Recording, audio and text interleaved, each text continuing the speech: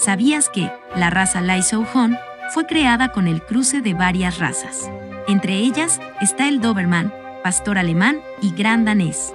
Este perro tiene un físico impresionante, que haría temblar a cualquiera. No es muy común que la gente lo conozca, ya que casi todos sus ejemplares se encuentran en China.